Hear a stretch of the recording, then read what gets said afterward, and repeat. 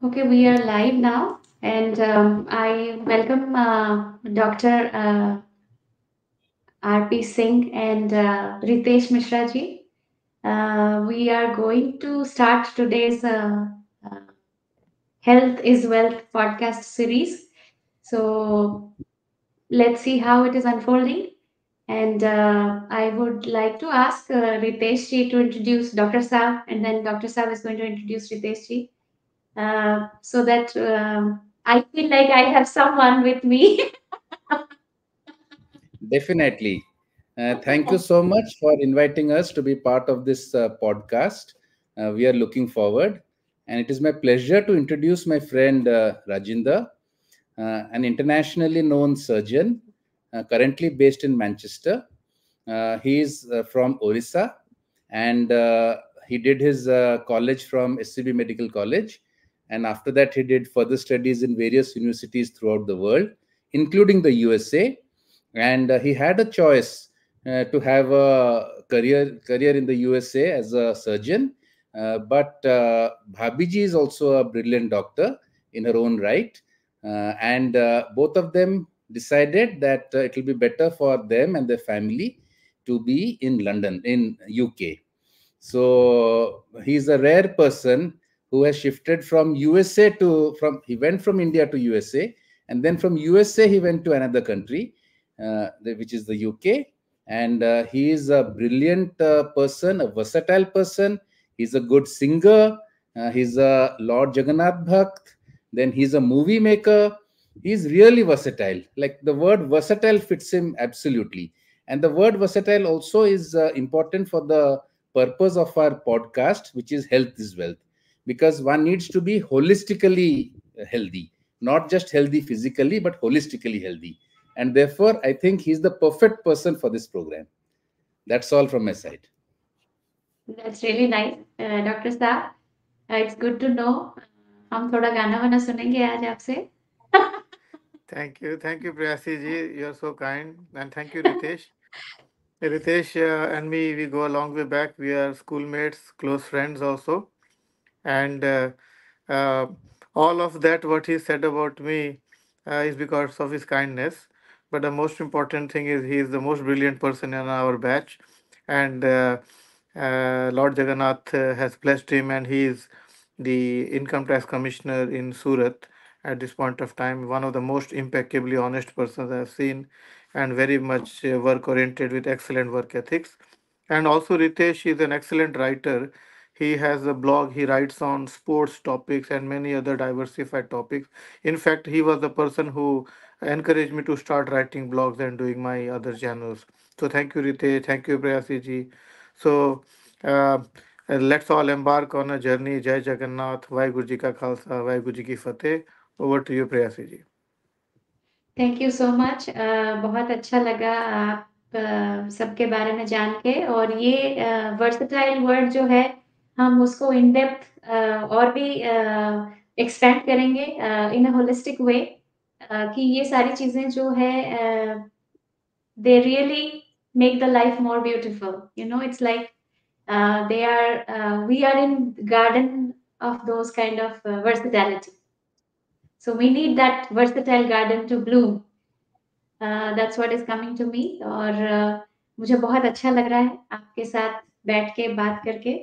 मैं भी आज बहुत कुछ सीखने के लिए uh, का इंटेंशन रखती हूँ और I will try to be present because ये जो टॉपिक है इसके बारे में मैं कुछ नहीं जानती हूँ। मैं सिर्फ़ जानती हूँ we need doctors in our life we need income tax officers in our life but आज मैं भी जानूँगी इन डेप्थ की how how uh, we can all work together for a better living for a better for being a better citizen or human in the long run so uh, with this thought we would like to start the discussion uh, for today uh, since health is wealth is a very uh, vast topic so हम उसको धीरे धीरे unfold करेंगे and uh, मैं इसका पूरा responsibility doctor साहब को देती हूँ और रितेश जी को देती हूँ ताकि हम दोनों के पर्सपेक्टिव से जाने कि कैसे हम किस तरह से अपना ज़िंदगी बेहतर बना सकते हैं।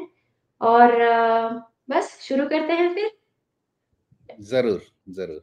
मुझे जस्ट एक चीज़ कहना है लाइक जितने भी हमारे व्यूअर्स है I would like to inform them that doctor Rajinder has started a YouTube channel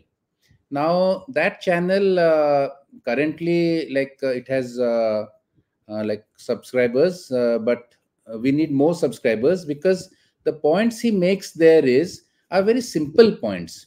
Like for instance i remember one of the um, episodes and what he has done is he has made it small ones 2 minutes 3 minutes so that people can really listen to it and learn. One of the episodes i remember was such a simple topic that sleep in darkness. Don't sleep with light on and that he told the medical aspect behind it. So i would like uh, viewers to subscribe to his channel. I do so. I i like each and every, every one of his episodes. And really i try to follow them uh, also. So that is one point which i would like to say. And secondly why i told rajinder to do blogs is earlier also he was giving very good advice to friends, uh, people throughout the world on his Twitter, on his uh, Facebook.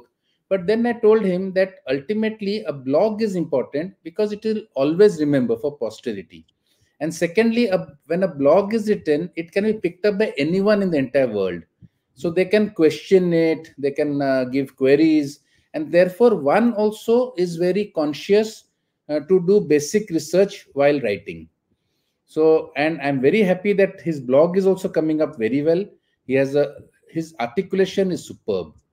You, know like uh, it is always uh, believed that uh, people with humanities background their writing skills are more. But i honestly feel the writing skills of doctors and engineers are more because they are frankly more or less they are better students. Better students go into medical better students go into engineering though i'm not an engineer i am from humanities. So so since they are better so they they can write better also which uh, rajinder is demonstrating. Thank you ritesh for your kind words. Thank you so much. I think we are all equal. The best thing is that we put in our 100% in whatever jobs we are given by prabhu jagannath. So yes. in order to start our uh, series i think it would be useful to touch base on two important things you know you have to have a guru and uh, you also have to have your god. And the fortunate thing for me is i have 10 gurus and now a guru granth sahib and i have got lord jagannath who is my god. So i have got a guru and i have god. So if we follow the guru and if we follow the god we will not be wrong. So let me start with the guru. What did guru gobind singh say ऐसो कर सन्यासा। अल्प आहार सुलभ स्यु निद्रा मन ही मन में उदासा। रे मन ऐसो कर सन्यासा। ही है sum it up so sleep optimally छह घंटा सोइए डार्क में सोइए रिफ्रेशिंग स्लीप अल्प आहार, सबसे बड़ी प्रॉब्लम आज क्या है? तोंद निकल आ रही है जो। तो अगर हम खाना रेगुलेट करके खाते हैं तो मोटापा नहीं होगा, उससे बीमारियाँ नहीं होंगी। अठारह साल के बाद हाइट तो नहीं बढ़ेगी, हम विट्स में बढ़ते हैं।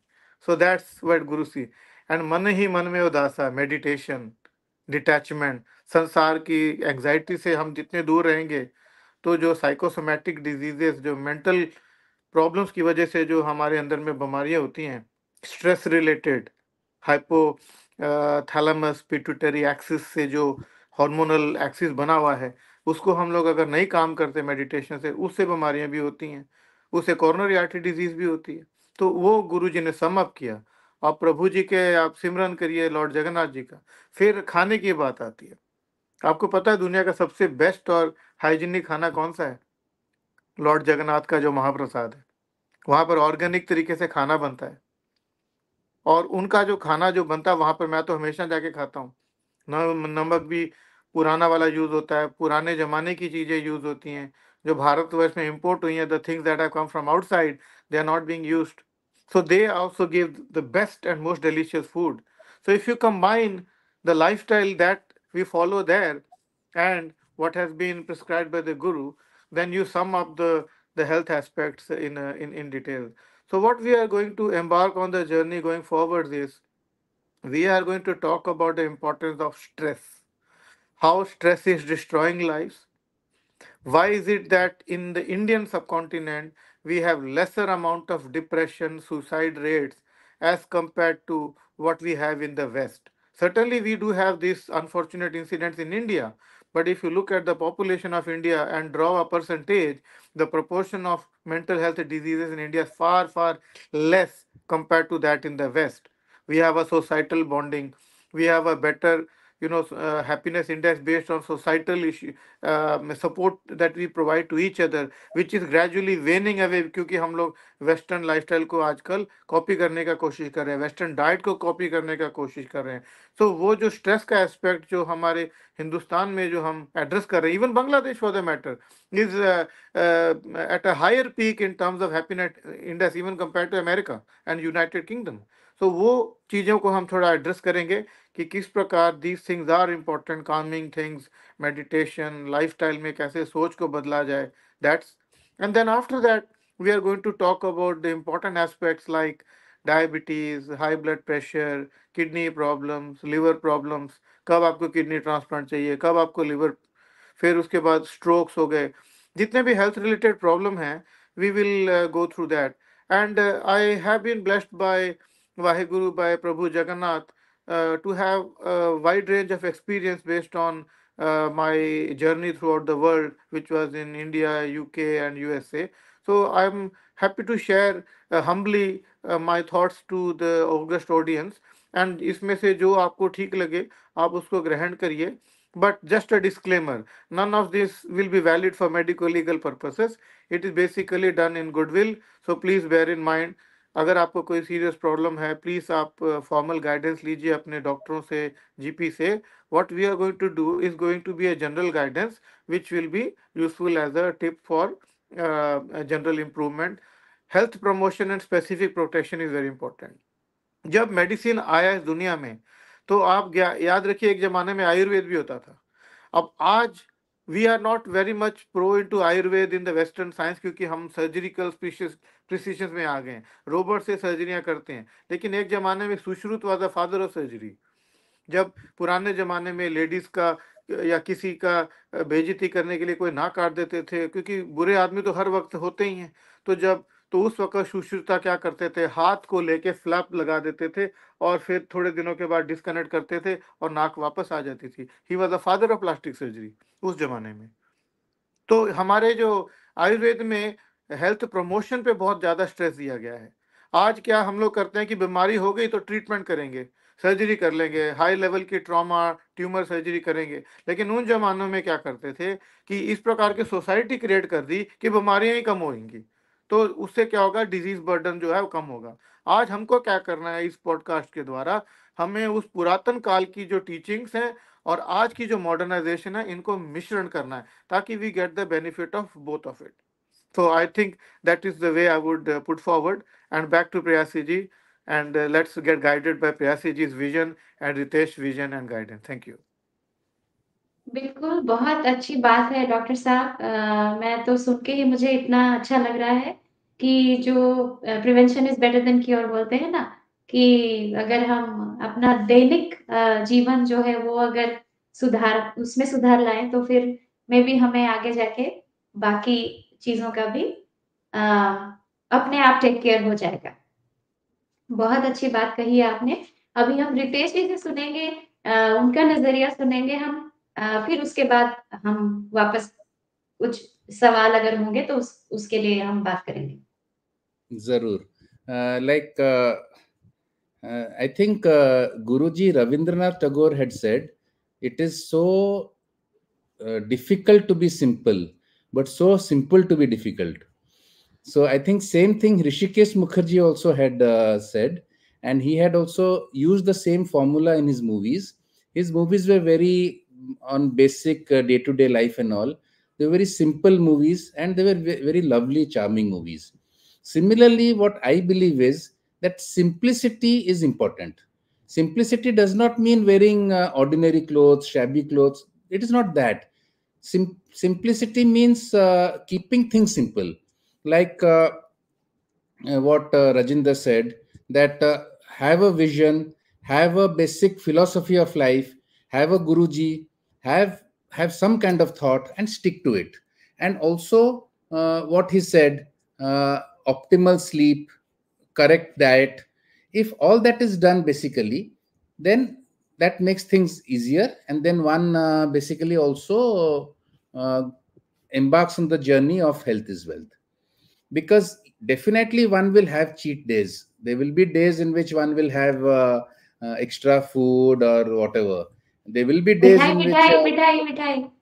Zarur, zarur, there will be days in which one would like to watch a movie till three o'clock, four o'clock at night, and that is also important because ultimately life is not meant to be very uh, monotonous and uh, it will become very boring then. But overall, keep things simple, keep things basic, and then things will automatically flow. बिल्कुल बिल्कुल Uh, मैं one अ, more thing Mishra ji से या बोलिए बोलिए one more thing I would like to say is that since I am working in the income tax department and all, uh, health is something which uh, is uh, very, very important. And sometimes it becomes costly and there is no way out because simply because the surgery will be costly, even if the, like, suppose my friend is a surgeon, Rajendra is a surgeon. Maximum what can he do he can say कि okay मेरा दोस्त है, गरीब आदमी है, ठीक है, मैं अपना फ़ीस वेव ऑफ़ कर लूँगा। But the hospital has the has to the operation theatre का चार्जेस होगा कंज्यूमेबल्स का चार्ज चार्जेस होगा एनेस्थेसिस्ट का चार्ज होगा। He can't request the anaesthetist कि मैं, मेरा दोस्त है या मैं, ये गरीब आदमी है, इसका मैं फ्री कर हूँ, तुम भी करो, आप भी करो। He can not say so basically what I think the way forward is that it is very important for people to have some kind of insurance that is very important because then what happens is then you don't have that stress stress at the back of your mind ki suppose something happens to me then what happens and in uh, in uh, insurance also there are two types of insurance one is term assurance one is medical uh, insurance and all like for medical benefit uh, yeah and all and one is term खुदा ना खास्ते कुछ हो गया so then the family gets some uh, money. Uh, unfortunately what all of us have made mistake is we have confused insurance with investment. Insurance is never investment because what we do is ki we put uh, i'm not uh, speaking against any uh, marketing of insurance companies but what they do is ki they uh, ask us to put in money back policy and all. That does not help. One should keep insurance separate and investment separate.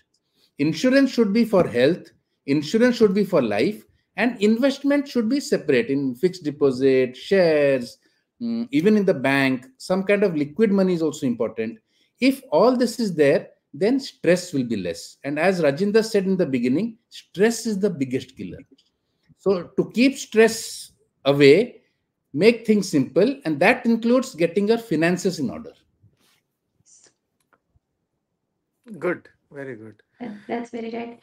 Uh, What I would suggest is, uh, Prasiji, if with your permission, I think it may be useful for our audiences that we give them a bit of uh, idea about what is going to unfold in the next uh, sessions that we will conduct. yeah. So I will touch base a simple single topic today, and I will just take you through the journey of that. There's a wonderful book uh, called uh, uh, it's called the biography of cancer, written by Siddharth Mukherjee, Emperor of all maladies. he's an oncologist in US, and one of the top ten books ever written in the world. And they say if you read it, it will change your life. And Ritesh, your daughter should read that book. My daughter has. It's a very, very important book to be read. Anyway, but Interestingly, take the journey of breast cancer. We can talk a bit about that important topic today.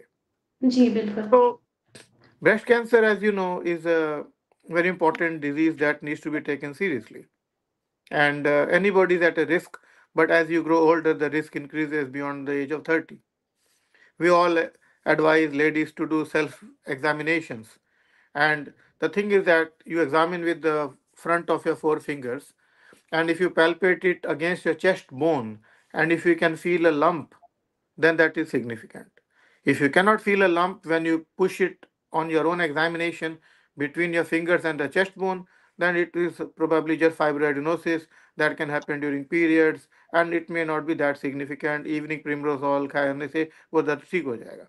But if it is, it is a significant one, तो फिर उसको further management हम करते हैं. But now I'll come to why I'm why I've taken this topic because ये एक ऐसा topic है जो हमें एक इंसाइट दे सकता है कि how things are so when i was working in punjab when we had patients who came in with breast cancer we used to remove the tumor itself तो okay. कुछ लोग आए और तीन साल के बाद में मैंने कुछ लोगों को देखा उनकी हिस्ट्री क्या थी हाँ जी हाँ एक ट्यूमर होया है जी इन्हों से ਕੱਢ ਦਿੱਤਾ ਸੀ ਡਾਕਟਰ ਨੇ ਲੇਕਿਨ ਹੁਣ ਸਾਫ ਫੁੱਲ ਰਿਹਾ ਹੈ एक्सरे किया तो छाती में पानी, लंग्स में, और उनके मेटास्टेसिस, कैंसर फैला हुआ है। लेकिन हमने तो भाई दो साल पहले ट्यूमर निकाल दिया था तो ये कहाँ से आया अभी? तो फिर पता चला अच्छा जो ब्रेस्ट कैंसर को हम ये कहते थे कि ये एक लोकल डिज़ीज़ है, अब पता चला ये लोकल नहीं है, ये सिस्टमिक डिज़ीज़ है। तो जब हमने ब्रेस्ट का ट्यूमर निकाला, उसी वक्त जो दिखता था वो तो निकल गया, लेकिन जो माइक्रो मेटास्टेसिस था वो अभी भी ब्लड में सर्कुलेट कर रहा था। Over a period of time दो साल में उन्होंने अपना काम किया, जगह बनाई और बोन्स में हर जगह फैल गए। तो फिर ये जागरूकता आई अच्छा तो breast cancer is systemic disease अब हम सिर्फ़ इसको निकालेंगे ही नहीं, हम रेडियोथेरेपी दे के बाकी के ब्रेस्ट को भी ट्रीट करेंगे ताकि जो छोटा मोटा रह गया हो, वो भी रेडिएशन से खत्म हो जाए। लेकिन फिर उसके बाद फिर भी काम नहीं बना। फिर हमने क्या किया? हार्मोन थेरेपी केमोथेरेपी भी हम हमने ऐड करनी शुरू की स्टेजिंग करने के बाद, फिर आउटकम इम्प्रूव हो गए। अब ये जो अनफॉर्चुनेट इंसिडेंट थे, जो दो साल के बाद में आने वाले थे, वो रेट अब कम हो गया। अब कैंसर का क्यू रेट बढ़ता गया। लेकिन इसके बावजूद भी ये एक ऐसा कैंसर है, जिसमें फाइव ईयर सर्वाइवल रेट नहीं गिना जाता टेन ईयर गिना जाता है, क्योंकि अब ये देखा गया कि जिनको कीमो हार्मोन मिला, वो आठ, नौ साल, दस साल के बाद में फिर आ रहे हैं। अब क्या हो गया जी? अब तो हमने कीमो भी दिया हार्मोन थेरेपी भी दिया सर्जिकल ट्यूमर भी निकाला। तो फिर पता चला कि इसमें कुछ जेनेटिक एलिमेंट है। आप जैसे जानते हैं, एंजेना जोली, उसको एक कैंसर फैमिली सिंड्रोम को बेचारी बिलोंग करती थी। तो जब उनको पता चला तो उन्होंने अपना बायोलेटरल मैस्टेक्टमी करा के इम्प्लांट करवा लिए और she is doing very well क्योंकि उनको पता है कि ये रहने देंगे तो मेलिग्नेंसी तो इससे कैंसर का जेनेटिक एलिमेंट का पता चला। तो अब इंटरेस्टिंग बात क्या है कि जब हम ट्रीटमेंट पे आए तो पहले तो हमने टिश्यू निकाला, फिर टिश्यू के साइड में हमने रेडियोथेरेपी दी, फिर हमने पूरे बॉडी में कीमोथेरेपी हार्मोन थेरेपी दी, लेकिन अभी भी काम नहीं बना। इसके बाद फिर क्या हमने किया, जिससे कैंसर रेट और ज़्यादा सर्वाइवल और ज़्यादा बढ़ा। वो ये था कि ये पता चला कि जो जेनेटिक स्ट्रक्चर है, उसमें ना तीन बड़े बड़े पिलर हैं जीन्स के। उसमें जो एक पिलर है, अगर वो खराब हो जाता है, उससे मेलिग्नेंसी होती है तो उस पिलर के अगेंस्ट में हम लोगों ने इम्यूनोथेरेपी डेवलप की। मोनोक्लोनल एंटीबॉडी हम लोगों ने डेवलप किया। तो जब हम लोगों ने वो मोनोक्लोनल एंटीबॉडी डेवलप की, जो उस कैंसर इंड्यूसिंग जीन को ही टारगेट करना शुरू कर देती है प्रोबेबली अगर आप की बायोप्सी में वो रिपोर्ट है कि फेवरेबल ट्यूमर है अकॉर्डिंग की ये वो जीन इसकी खराब है, तब अब ये जो लोग दस परसेंट, पाँच परसेंट जो स्लिप करके दस साल के बाद आने शुरू किए, अब उनका भी क्योर हो गया। तो ये एक ऐसा एक ऐसी जर्नी है, जिससे हमें पता चलता है कि हम कहाँ से कहाँ से कहाँ से, कहाँ साइंस हमको लेके आ गई। लेकिन इसके बाद अब आप ये सोचिए कि अब जीन्स में अगर ये आ रहा है तो ये क्यों आ रहा है? जीन्स में प्रॉब्लम तब आती हैं जब हम एक लाइफस्टाइल को अडॉप्ट करते हैं और जनरेशन में जब ये लाइफस्टाइल चलती हैं तो फिर वो जेनेटिक इनकॉर्पोरेशन होकर वो परमानेंट बन जाती हैं और बाद की जो जनरेशन है वो भुगतती है। इसलिए आज हमें हिंदुस्तान की पुरातन काल को सामने लाना है ताकि जो हमारे भारतवर्ष की जो नई पीढ़ी है, उनको जेनेटिक इश्यूज़ भी ना हो, जो हम अपनी लाइफ से चेंज कर सकते हैं।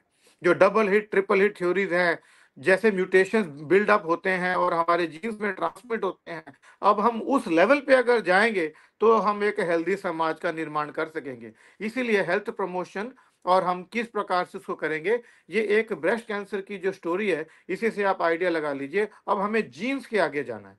जीन्स को तो हमने टारगेट करके ठीक किया, लेकिन वो जीन खराब ना हो, इसके लिए हमें क्या करना है? इस पे हम भी आगे रिसर्च कर रहे हैं। और इस पे और आगे रिसर्च भी करनी है कि क्या मेथोडोलॉजी है जिससे जेनेटिक फ्रेमवर्क ही ठीक हुए ना बज रहे बाँस ना बजे बांसुरी। उस पे हमको हम्म। अभी आगे काम करना है। और रही इंश्योरेंस की बात ये बिल्कुल सही है।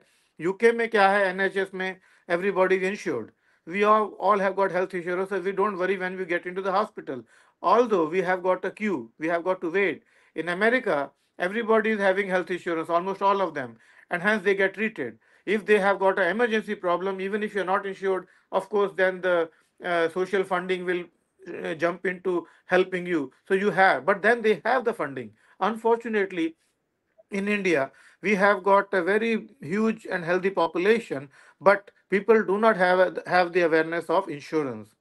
And therefore, I think Rite, thank you for saying that. But this is one of the another single most important message which has to go through that please get your health insurance done.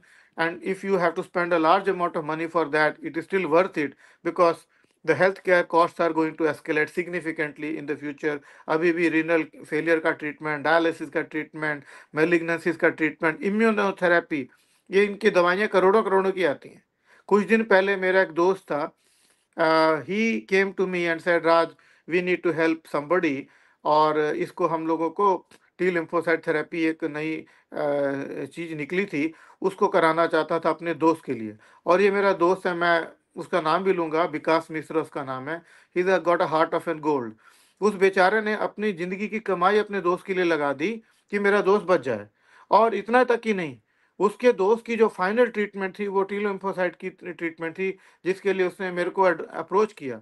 But इसके पहले कि हम कुछ कर सकते उसको trials पे लगा सकते वो दोस्त अनफॉर्चुनेटली उसका पास अभी कर गया। लेकिन ये इंपॉर्टेंट है कि अगर हम इंश्योरेंस को पहले से लेके रखें इन चीज़ों के लिए देन हेल्थ केयर में अगर अनलिमिटेड इंश्योरेंस आप ले लेते हैं तो इन चीज़ों का आपको ज़रूर फ़ायदा होगा। तो प्लीज़ इस चीज़ का आप ध्यान रखें। शुक्रिया मैंने बहुत समय ले लिया। Back to you both of you. बिल्कुल नहीं the points were very very valid. I just have one uh, follow up question uh, what was very surprising to me a few years back is one of my very close friends in bombay uh, his father was admitted and he told me that his father had breast cancer. So that was news to me. Like uh, very frankly i'm a, a, layman i'm a lay person so that was news to me that men also can suffer from breast cancer. Uh, and apparently the risk is more after 60 or 65 something like that. Uh, can you give some light on this? Yes it is rare for men to have breast cancer but okay. and one of the common conditions is gynecomastia. Gynecomastia means enlargement of the breast of the men, which can sometimes happen due to conditions like liver cirrhosis, where the estrogen metabolism doesn't happen and estrogen ज़्यादा हो जाता है and it can lead to gynecomastia. Some of the some medications like cimetidine जो uh, पहले ज़माने में हम लोग एंटासिड सॉरी uh, ये लेते थे एसिडिटी के लिए that also can cause so कुछ दवाइयाँ भी हैं जिनसे हो सकता है but it's a separate condition but beyond a certain age the same risk factors can develop And if there is a lump in the male breast, then it is important that it is taken seriously. And uh, you have highlighted a very point that although it is very rare, but nevertheless, it is important for that person who has got that affliction and he needs to get treated. And the problem is if a man has a breast cancer, the prognosis is more poor, bad. Kyun? Kyunki a, a man's breast, the man's breast will have no tissue between it and the chest wall. तो अगर breast cancer man में हो गया वो बड़ी जल्दी सीधा bone को लग के सीधा अंदर चली जाएगी। लेडीज़ में क्या होता है कि because there is a breast by nature is larger by the time it get spread to deeper tissues उसमें टाइम लगता है। लेकिन मैन में क्या होता है कि टिश्यू नहीं है वो बहुत जल्दी चेस्ट वॉल में और अंदर चला जाता है। That's why it is more dangerous otherwise stage पर स्टेज तो सेम ही रहेगा but because of the lack of tissue it can spread faster. Thank you. Thank you. Welcome. वाह मुझे इस बारे में पता नहीं था कि it it can happen to men as well. Body is body so इसमें कोई जेंडर का कोई इसमें हम स्पेसिफाई नहीं कर सकते सो या आई मीन मैं और क्या बोलूँ मैं मैं तो सुन ही रही हूँ अ, सारी बातें और मुझे सुन के अच्छा लग रहा है कि साइंस का भी अ, जो है रिसर्च का भी जो है it's it's very everything is so important हम किसी चीज़ को इग्नोर नहीं कर सकते यू you नो know? हो सकता है कि रेशियो प्रोपोर्शन अलग हो and but the presence is very much impactful कि हर चीज़ से हेल्प हो सकता है। कोई भी चीज़ हम ऐसे नहीं इग्नोर करके रह सकते कि अ, नहीं वो कुछ काम का नहीं है, कुछ काम का नहीं, सब कुछ काम का है। सब कुछ काम का है, सिर्फ़ ज़रूरत आने पे उसका अहमियत पता चलता है। देखिए, हमारी कंट्री में बहुत प्यार है, बहुत सद्भावना है, लेकिन हमारी कंट्री में एक और प्रॉब्लम भी है। जो हमारे रिलीजियस लीडर हैं, वो हमें बहुत ज्ञान देते हैं, प्यार से भगवान की तरह लेके तो जाते हैं, लेकिन उन्होंने अपनी एक ज़िम्मेवारी नहीं निभाई, जिसके बारे में आज बोलना चाहूँगा। मैं बेसिकली ट्रांसप्लांट सर्जन हूँ और I was trained in the US in liver, kidney and pancreas transplantation, abdominal organs. तो ट्रांसप्लांटेशन मेरा फोर्टी है, तो इसके बारे में कुछ बोलना चाहूँगा। मेरे को इंडियन गवर्नमेंट ने भी 2-3 बार इनवाइट किया था, टॉक देने के लिए in in Indian society of transplant. जो इंटरेस्टिंग बात पता क्या है कि हम लोग ऑर्गन डोनेट नहीं करते। We cling on to our organs कि पता नहीं जैसे साथ में लेके जाएँगे, या तो होता तो नहीं है, शरीर तो जल जाता है। तो यहाँ पर ये इम्पोर्टेंट एस्पेक्ट है कि वेस्टर्न वर्ल्ड में ऑर्गन डोनेशन इतना ज़्यादा क्यों है? जो हम अगला पोस्टकास्ट करेंगे पॉडकास्ट, मेरी आपसे ये गुजारिश है कि let us talk on transplant. तो हम नेक्स्ट पॉडकास्ट करेंगे किडनी डिज़ीज़, हाइपरटेंशन और किडनी ट्रांसप्लांटेशन किसको ज़रूरत है, डायलिसिस क्या होता है, उसके बारे में फिर लिवर ट्रांसप्लांट पे करेंगे। ऐसे करते-करते हम जाएँगे बट मैं इसका एक एक फ़ील फैक्टर आज देना चाहता हूँ। अब देखिए, हमारी आबादी 1.4 बिलियन है, लेकिन ऑर्गन डोनेशन कैडावर से सबसे कम रेट्स हैं इंडिया में इस वक़्त। अब यूके में, अमेरिका में आप आके देखिए तो कितनी ज़्यादा ऑर्गन डोनेशन हो रही है। उसकी वजह पता क्या है? क्योंकि जब 1960-70s में व्हेन ब्रेन डेथ निकला कि भाई ब्रेन स्टैम यहाँ होता है पीछे। अगर एक्सीडेंट या कुछ बीमारी की वजह से ब्रेन स्टैम मर जाए बंदे का, देन ही इज़ डेड। आपका कॉर्नियल रिफ्लेक्स नहीं होगा, गैग रिफ्लेक्स नहीं होगा, प्यूपिल रिफ्लेक्स नहीं होगा और you can't breathe, you are gone. लेकिन आप मानने को तैयार नहीं है और वो ब्रेन डेड को वेंटिलेटर पे लगा लगा के क्या फ़ायदा?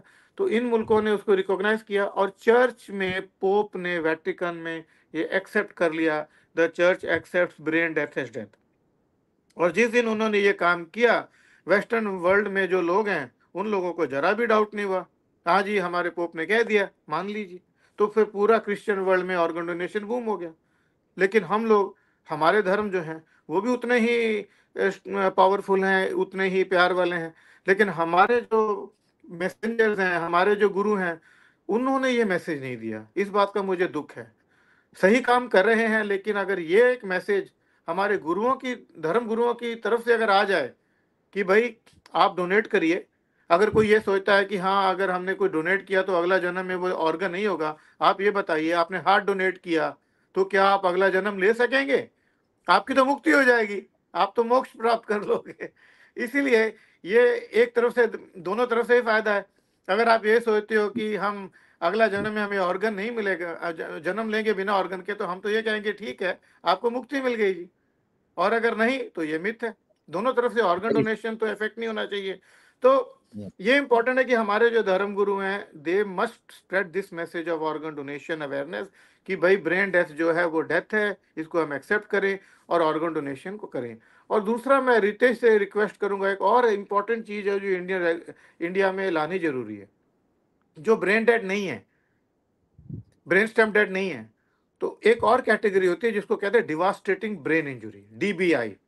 Devastating brain injury क्या होती है कि जब एक्सीडेंट हो गया, ब्रेन का कितने हिस्से खत्म हो गए और आप मीनिंगफुल लाइफ आप जी नहीं सकते, आप वेजिटेटिव हो। लेकिन ब्रेन स्टेम डेड नहीं है, but you are otherwise brain is still gone. अब क्या है कि उसमें चूँकि ब्रेन स्टेम क्राइटेरिया नहीं है, तो यहाँ पर वेंटिलेटर से डिस्कनेक्ट का रूल नहीं है इंडिया में। उससे अब हो क्या रहा है कि ये जो भी हमारे आईसीयूज़ हैं थ्रू आउट कॉरपोरेट वर्ल्ड, उनमें जो पेशेंट चला गया, वो पेशेंट 2-2 महीने वेंटिलेटर पे रहता है। फैमिली को लगता है कि हाँ जी, ये तो बच जाएँगे। हर दिन उनका पचास हज़ार से एक एक लाख का बिल बनता है जो कि जायज़ भी है क्योंकि आजकल महँगाई है। जो आईसीयू का जो केयर है वो जो गैजेट्स यूज़ करते हैं वो तो बहुत महँगे होते हैं। वो कहाँ से करेंगे? पैसा लेंगे बेचारे लोग। तो उनको भी ब्लेम करना ठीक नहीं है। जो फैक्ट्स है उसको हम लेके चले, क्योंकि हेल्थ केयर महँगा है। लेकिन हम एक फ्यूटाइल चीज़ को दो दो महीने तक रखते हैं। और हमें एक इंसिडेंट याद आता है, मैं हॉस्पिटल का नाम नहीं ले सकता, पर एक हॉस्पिटल में मैं था, और वहाँ पर एक हमारे सरदार जी थे, हमारे कम्युनिटी के, उनकी माता एडमिटेड थी, और उन्होंने आके हमें बोला कि वो माता जी हैं जी, उनका जो ब्लड प्रेशर है, आज इम्प्रूव हो गया। मैंने बोला कितना इम्प्रूव हो गया? जी आज फोर्टी बाय थर्टी है कल ट्वेंटी बाय टेन था। मैं सोच में पड़ गया ये क्या फोर्टी और क्या टेन तो मैं क्या ये ऑब्वियसली बिज़नेस क्लास है इनको आइडिया नहीं है कि इसमें कोई फ़र्क नहीं होता है। मैं थोड़े दिन देखता रहा। उसके बाद में मैं देखता रहा कि रोज यही हो रहा है। फिर एक दिन मैंने उनको कह दिया मैं कहा देखिए आपको बुरा लगेगा लेकिन जो वाहिगुरु ने जो, प्रभु ने जो, ईश्वर ने जो करना था, वो हो चुका है, अब वो तड़प रही हैं। शी इज़ नो मोर और हम सिर्फ़ वेंटिलेशन करके बस आपको तसल्ली दे रहे हैं, क्योंकि आप एक्सेप्ट नहीं कर रहे इस बात को कि वो इनएविटेबल हो चुका है।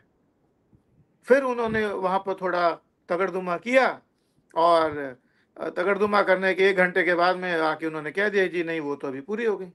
तो उस बीच में उनका बीस लाख का बिल बन चुका था। और ये बहुत पुरानी बात मैं बता रहा हूँ। आज के जमाने में वो कम से कम तीन करोड़ चार करोड़। का बिल होगा।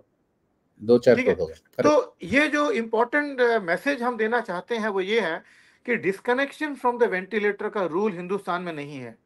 जब हमने बात की, जब हमने नोएडा में टॉक दी और अभी कैलकाटा में भी डिस्कशन हुए, जो इंडियन सोसाइटी ऑफ़ ट्रांसप्लांट के जो बड़े बड़े हमारे कलीग डॉक्टर सब थे तो सभी ने यही कहा कि हिंदुस्तान में ये रेगुलेशन नहीं है कि हम किसी को वेंटिलेटर से डिस्कनेक्ट कर सकते हैं। तो जब तक उसका हार्ट बीट खुद से नहीं बंद होता हाँ ब्रेन स्टेम इंजुरी को मान लिया गया है। डीबीडी या donation after brain stem death वो मान लिया गया है। लेकिन ये डोनेशन आफ्टर सर्कुलेटरी डेथ, जिनको डिवास्टेटिंग ब्रेन इंजुरी है, वो वाला क्राइटेरिया हिंदुस्तान में नहीं आया है। और इस वजह से अभी ये प्रॉब्लम हो रही है कि पूरे हिंदुस्तान में हर साल, हर दिन कोई भी ऐसी फैमिली नहीं होगी जिन्होंने सफ़र नहीं किया है, जिनकी ज़मीनें बिक गई हैं, घर बार बिक गया है, क्योंकि हर कोई अपने नज़दीक वालों से प्यार करता है और कोई भी इस बात का गिल्ट लेके जीना नहीं चाहता कि हमने पूरी कोशिश नहीं की। वो वध चढ़ के इसमें एंथुसियास्टिकली दिखाएगा। लेकिन हो क्या रहा है? आपने अपना सारा फाइनेंस खत्म कर दिया। आईसीयू में कंज्यूमेबल्स भी यूज़ हो गए। ठीक है कॉर्पोरेट हॉस्पिटल्स ने वही किया जो उनको करना है क्योंकि वो भी डिस्कनेक्ट नहीं कर सकते। लेकिन ये रितेश अगर आप गवर्नमेंट को अगर आप सलाह दें रितेश जी तो I can not do that you know very well कोशिश करें क्योंकि आपकी जो आपकी जो पोजीशन है वो बड़ी पावरफुल है। नहीं, और अगर बात ये का रूल ले आए तो बहुत भला होगा देशवासियों का पैसा बचेगा all of us all of us will certainly do what we can and uh, let me uh, give you an example of what i have done i celebrated my 50th birthday by being an organ donor i uh, took the pledge and by I, I thought that will motivate others to do so also what you're saying is absolutely correct it has to be uh, a message has to go through and then the authorities they will take a decision. Definitely definitely what you're saying a discussion has to there has to be a discussion point first. There has to be a discussion point first and uh, you have raised a very valid point. and i'm sure more and more uh, people will uh, come across this. Authorities also will take a note and then we'll take a call. But anyway like i think uh, we have discussed quite a lot today. So i think today we can wind up and then we can plan another thing. And yes i think organ donation, uh, transplant, that can be a very good topic uh, for the next session. Prayasi ji over to you आप एक जगन्नाथ का भजन गा दीजिए प्रयासी जी आज।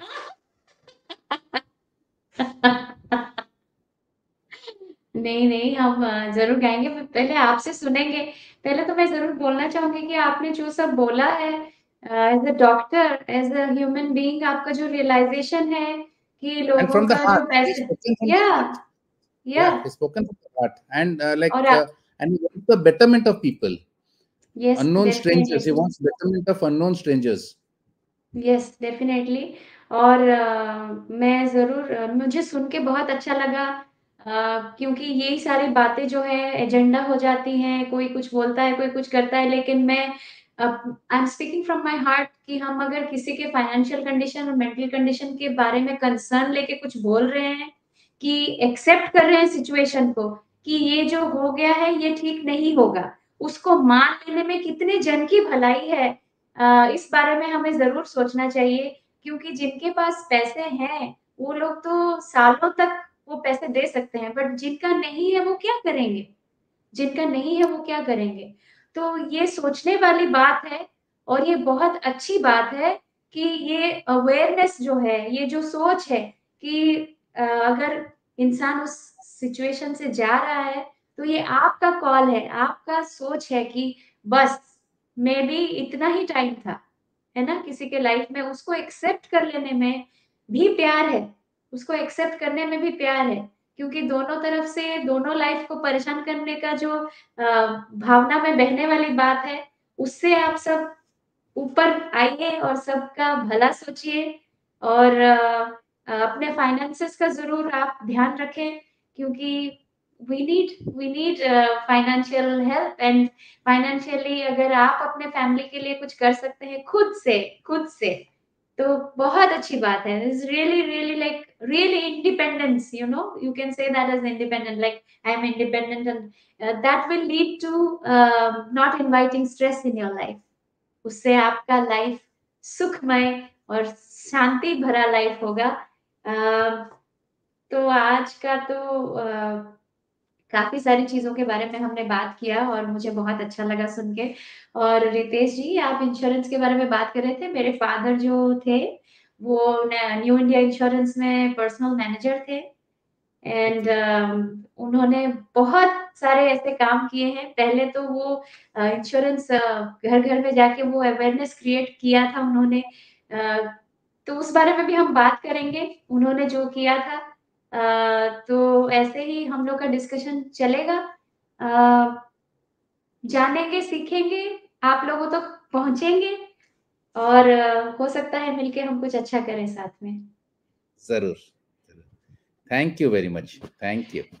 Thank you और doctor साहब आपका भजन हम सुनेंगे, आप गाएँगे थोड़ा-सा? गाइए। ज़रूर, ज़रूर, ज़रूर। आपके भजन से हम uh, conclude विद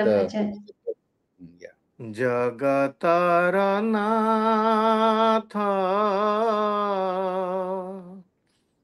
आहे जगन्नाथ भकत धन भावग्राही